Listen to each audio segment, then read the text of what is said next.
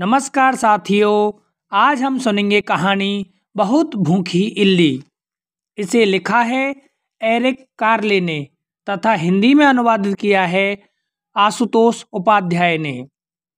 इस कहानी के माध्यम से हम जानेंगे कि एक विद्यार्थी कैसे पुस्तकालय की पुस्तकों से आनंद के साथ अपने पाठ्यक्रम की विषय वस्तु समझ सकता है।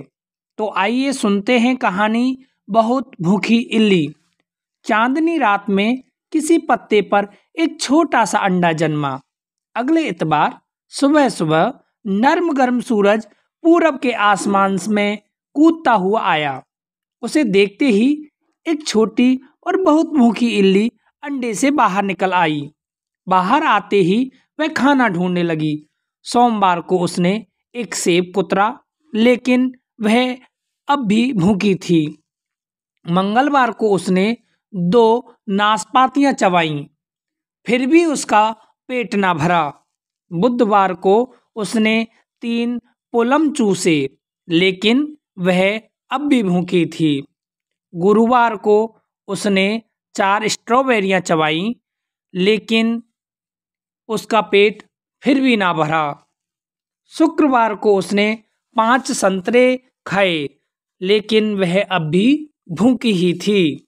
शनिवार को वह एक चॉकलेट, एक आइसक्रीम, एक अचार, एक चीज़ का टुकड़ा, एक सलामी की फाँक, एक लॉलीपॉप, एक टुकड़ा चेरोपाई, एक सॉसेज, एक कपकेक और एक टुकड़ा तरबूज चट कर गई। उस रात उसे बड़े ज़ोर का पेट दर्द हुआ। अगले दिन फिर से एतवार था। इल्ली ने एक साफ़ सुथरी हरी पत्ती चबाई। उसके बाद उसे थोड़ा आराम मिला। अब उसे जरा भी भूख नहीं थी और अब वह नन्ही सी इल्ली नहीं थी। अब वह खूब बड़ी मुटकी इल्ली में बदल चुकी थी। उसने अपने चारों ओर छोटा सा घर बनाया, जिसका नाम था कोकून। इस घर में वह पूरे दो हफ़्ते सोई।